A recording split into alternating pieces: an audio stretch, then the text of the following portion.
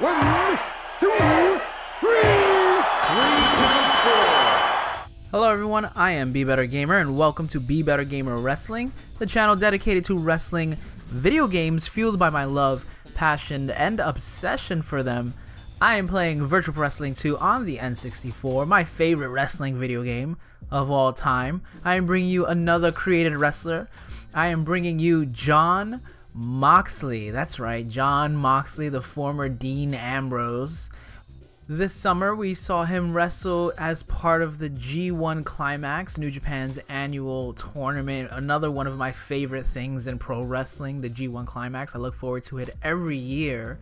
And he had a pretty great showing, so I figured I would make him in Virtual Pro Wrestling 2. I'm making him in the vanilla version of Virtual Wrestling 2, the Japanese version, but if you check the description below, the full CAW is typed out in a nice spreadsheet. You can use the vanilla version of Virtual Wrestling 2, the Virtual Wrestling 2 translation patch. You could probably even make him in Virtual Wrestling 2 Freem edition, but let's go ahead and jump right into it. For head, I went with number two and uh, zero skin tone for the body as well. Face, I went with face 70. I went kind of bold with the face, but I think it works. There's other faces you could choose as well.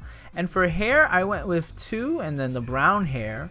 Front hair, we went with front hair 75. You could also do the shaved head, but I like going with the uh, regular hair for this one. And then facial hair 22. I do wish the facial hair was a little bit lighter. Um, body size, we go with 1, skin tone 0 again. A20, he had sort of like a mixed martial arts kind of look when he left WWE and keep the color black. For entrance attire, I actually gave him the leather jacket, A8. You know, he came in with that very cool Mox jacket, and we'll talk a little bit about that later on. He wore an elbow pad on the right side for the majority of his matches. I went with elbow pad number 2. Knee pads 13. Both the elbow pad and knee pads, just make them black. And then for feet, we went with D8. He wore these sneakers, these shoes that have been, you know, seen throughout the years of Japanese pro wrestling and mixed martial arts. So I thought that was very cool. And they're in the game, so that's awesome. For the second outfit, I just took off the knee pad. I mean the elbow pad. you know, he didn't really he hasn't really done too many different outfits since leaving WWE and I tried to stick with outfits that he's used in New Japan and AEW here. I went with his long pants, his sort of like jean slash camo pants he wears um, d9 and make it black. You can also keep the leather jacket. You can also give him the vest if you want for his entrance attire because he does alternate sometimes. Sometimes he wears his vest.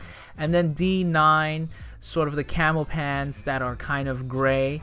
Um, you know, he I, I think he wears different pants. I'm not sure if he's wearing the same pants. Sometimes the pants seem lighter, sometimes they don't. So you know, sometimes they look black and like white, sometimes they look gray and white. So I just went with both here.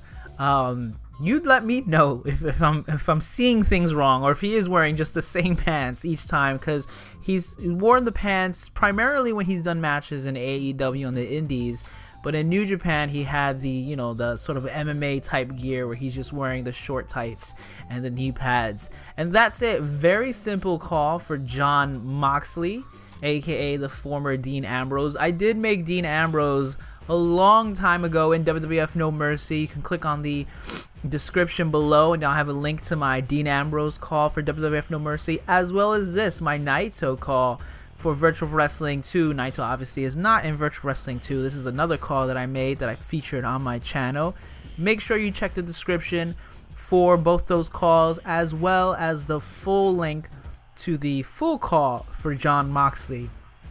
But we're going to jump into a match. I'm going to talk a little bit more about what I did with the CAW and also how I felt about Moxley being in the G1 if you like this CAW, please let me know in the comment section below. Like, comment, subscribe. You've been on YouTube before, you know what to do. I also stream Virtual Wrestling 2 as well as other wrestling games on my Twitch channel twitch.tv slash be again a link in the description below if you want to follow and if you want to drop a sub if you have an amazon prime subscription you get a free twitch prime sub every month i'd greatly appreciate it if you send one my way it really helps me grow not only on YouTube but on Twitch as well. So I can bring you more CAWs like Jon Moxley and Naito and everyone else on my channel, and more wrestling videos that I do. So Moxley in the G1 was very surprising. I didn't expect him to show up in New Japan, honestly. Like I think when it was announced that he was leaving WWE, I figured he would go to AEW, maybe bounce around the indie scene for a little bit. I thought it was even a possibility if he showed up on Impact or something and go and went and fought Sami Callihan and stuff like that and OVE. Um, but he didn't. He showed up in New Japan. His first match was at New Japan after leaving um, WWE. It was at the Best of the Super Juniors finals where he won the IWGP uh, U.S. Heavyweight Championship from Juice Robinson. And there was promos playing throughout the Super Junior tournament that someone was coming to basically murder Juice Robinson. That's what the promos were like. And a lot of people thought it was like, you know, it's going to be a British wrestler because the guy on his jacket had like the um, Union Jack flag and things like that. But it ended up being Mox. And that was the name we got. And that was Jon Moxley. And was revealed right after he left WWE he won the title from Juice, and then at Dominion he defended it against. Uh, well, he didn't defend his title. No, he just fought Shota Umino, a young lion, beat Shota, and then after he beat Shota, he declared his intention to be in the G1, and that blew me away. I was completely surprised.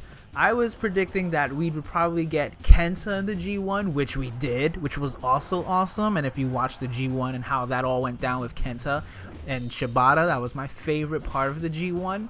But he was over in B Block and he had some really good matches in the G1. You know, he started off strong, winning most of his matches. Um, I thought Naito was going to be one of the people to give him his first loss, but he actually went undefeated all the way up and through Naito. He beat Taichi, he beat Cobb, he beat Ishii, he beat Shingo Takagi, and he beat Naito his first two matches, you know, Taichi and Cobb, they were pretty good, but Ishii is where it really picked up, I felt like. You know, Moxley and Ishii just had great chemistry right off the bat, went after each other. Fantastic match. Probably my favorite match that Moxley had in the G1. His match with Takagi was great. His match with Naito was really good. Very surprising. I thought Naito was going to beat him. He didn't. And then he went on a losing streak after losing to Toru Yano. Toru Yano, the uh, the bracket killer, man. He beat Moxley, then he lost to Jay White, then he lost to Goto, and then he lost to Robinson in another great match, a follow up from their match when they first fought in New Japan. There we go with the double arm DDT. So I gave him the double arm DDT as his strong grapple, his beat down strong grapple. That's the Death Rider, you know, and then he does the sort of impaler like Death Rider. So I gave him the impaler DDT but he doesn't double underhook the arms there. You're just gonna have to use your imagination.